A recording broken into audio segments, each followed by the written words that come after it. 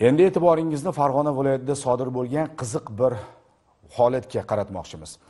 Aslida ushbu voqea ko'plab muhokamalarga ham sabab bo'lmoqda. Keling yaxshisi hozir muxbirimiz tomonidan tayyorlangan ushbu reportaj orqali barchasiga aniqlik kiritiladi.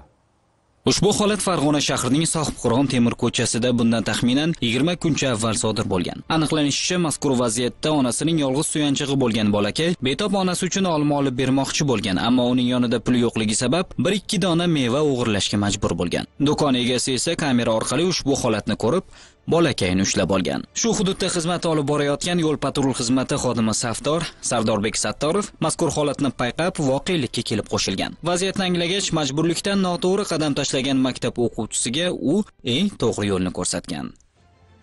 Sohibqiron temur ko'chasida xizmat olib borayotgan paytimda bir bolakay bilan sotuvchini o'rtasida shu tortishuv nizo kelib chiqqanini ko'rdim.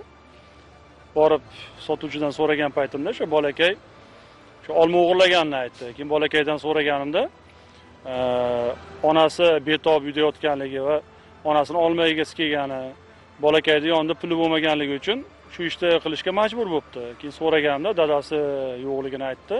Shu olmalarni olib o'sha bolakayga berib shu onasiga olib borib keyingi safar bu holat qaytarmaslikka bunaqa holat qilmaslikka yaxshi oqibatlarga olib kelmaslikka tushuntirdim bolakayga. Shu bolakayga shu olmalarni olib berdim xursand bo'lib uyga ketdi Yo'l patrul xizmati xodimining qilgan xayrli harakati tarmoqlarda keng tarqaldi va omma e'tiborini o'ziga tortdi. Shundan buyon yo'l patrul xizmati xodimining qo'ng'iroqlari tinmay respublikaning barcha hududlaridagi fuqarolardan unga faqat iliq so'zlar aytilmoqda. Muhammad Sidiq Usmonov, Ravshan Nabijonov, Hudud informatsion dasturi uchun Farg'onadan.